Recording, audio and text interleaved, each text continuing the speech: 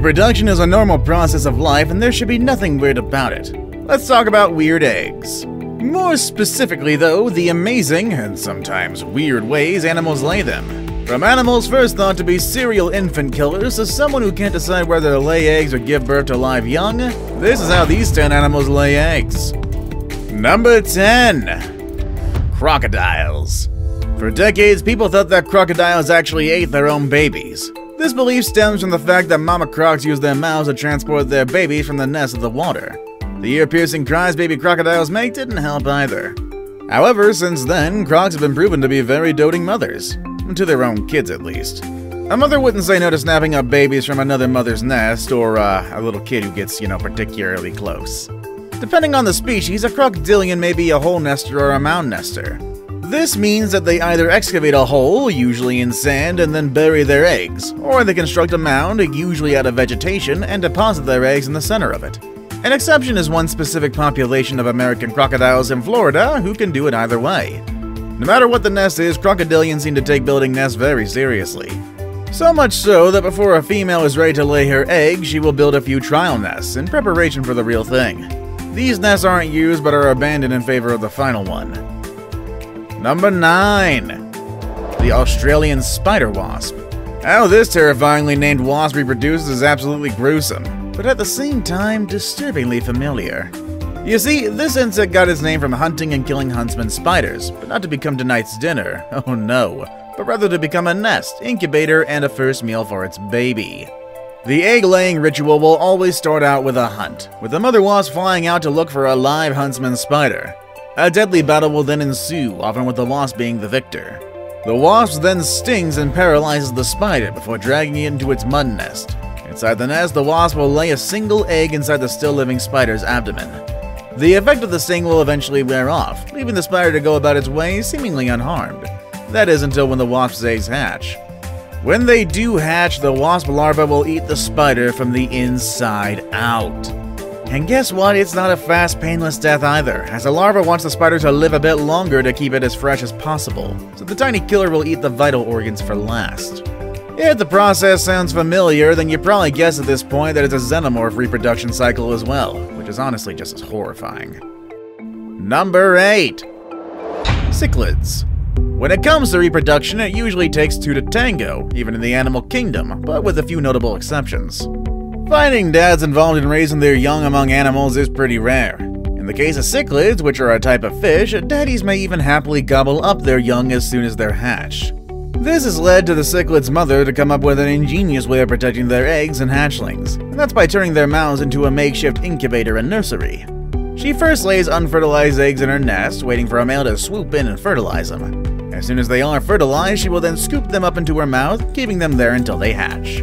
It can take up to two weeks for the up to 30 eggs to actually hatch, but even after that, she will continue to keep the hatchlings in her mouth for up to two more weeks, just occasionally letting them out to feed them.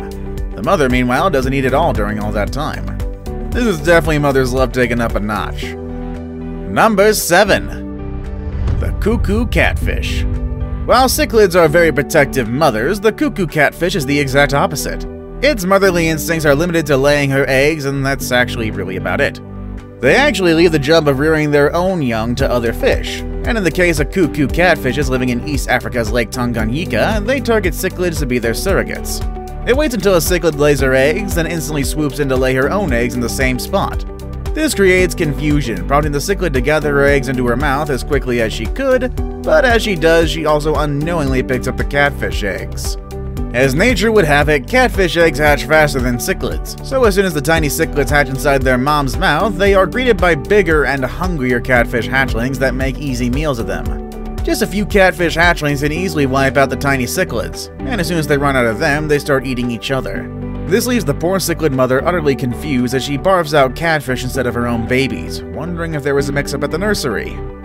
Number 6 The Seahorse as stated before, there aren't a lot of very involved dads in the animal kingdom, but there are a few exceptions, most notably the humble seahorse. Male seahorses don't only produce the sperm needed for fertilization, they are actually the ones who get pregnant. The female transfers her eggs to the male's abdominal pouch, made of modified skin. The male releases sperm to fertilize the eggs as they enter, before incubating them for 24 days until they're born. The male's abdominal pouch is a wonder of nature that performs a whole lot of tasks aside from keeping the baby safe. The pouch actually provides the baby seahorses with everything that they need to develop, including a supply of energy-rich fats and calcium that allow the embryos to build their tiny skeletons and bony body rings that sit just under their skin. The pouch can even remove the waste that the embryos produce, such as carbon dioxide and nitrogen, keeping conditions inside the pouch ideal for a growing seahorse. Number 5. Gastric Brooding Frogs The gastric brooding frog is famous for two things. One is that the species was literally brought back from extinction, and two, they barf out babies from their mouths. It should already be painfully obvious from their name, but gastric brooding frogs hatch their eggs from inside their stomachs. This unique and somewhat disgusting species of frog is native to Queensland and eastern Australia.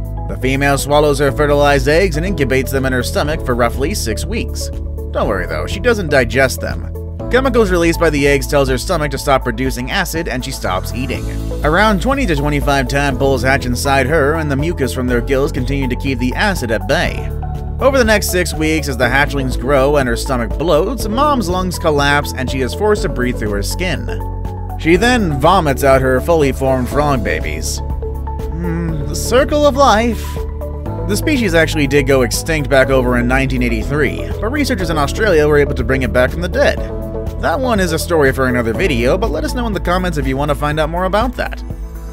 Number 4. Sea Turtles Sea turtles are extremely rare marine reptiles. They can live for more than 100 years, which unfortunately also means that they reach sexual maturity longer. This means that they can't reproduce quickly enough for their numbers to increase to a more comfortable level. Depending on the species, they may start laying eggs as early as the age of 7 or as late as the age of 40. Pregnant females will lay their eggs on sandy beaches. How they pick and choose which beach to give birth on is unknown, but they have been known to come back to the same beach every time to lay eggs. That is, unless they are disturbed while laying the eggs, at which point they'll abandon the nest, never to come back. When they do find the perfect spot, though, they will dig holes called body pits using their front flippers. These holes could be as deep as 3 feet, and when they are done digging, they lay somewhere between 50 to 200 eggs, again depending on the species. They then cover up the hole with sand and go back to the sea, leaving their babies to hatch and find the ocean all by themselves. Some of these babies will come back in a few decades to the same spot where they were born to lay their own eggs.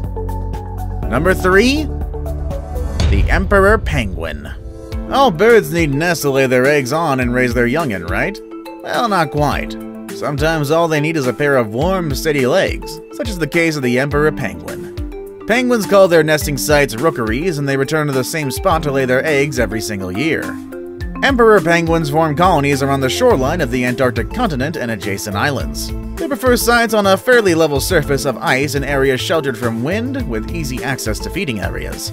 Females will deposit a single egg onto the waiting feet of a male, and then they set off immediately and head for the sea, leaving the male to incubate all by himself. They can't even feed themselves while taking care of the egg. It takes 65 to 75 days for the eggs to hatch. By the time the chicks actually do appear, their fathers have fasted for 4 months. The males rely entirely on the body fat that they laid down during summer to survive the long winter fast. Now that's one dedicated father if I ever saw one. Number 2. The Suriname Toad. The Suriname sea toad is one of the strangest animals you will ever see in your life. You see, unlike other toads, it looks like a car has run over it, and it gives birth out of its back. The female toad's offspring develop from eggs to frogs underneath under her skin, and for people of a certain disposition, the sight of this toad giving birth is enough to make them vomit. So of course I definitely need to show it to you guys. The female Suriname toad can carry up to 100 eggs in her back, forming an irregular honeycomb design. The male toad produces a sharp clicking noise by snapping the hyoid bone in his throat, which attracts a nearby partner. The female rises from the seafloor, at which time the male mounts her back. They do a bit of an awkward mating dance, mostly involving the pair flipping through the water. This also has the female releasing eggs with each flip and the male fertilizing them before he helps embed the eggs in her skin. Once the eggs are implanted, a film forms over them, creating protective pockets. Four months later, the fully grown frogs punch their way through the skin to freedom. Before we move on, do me a favor. My analytics show that only about 15% of you watching are actually subscribed. Come on guys, what's up with that? Can you guys please hit the subscribe button? You guys watch my videos every day anyway, so you might as well subscribe and keep up to date with every video we put out.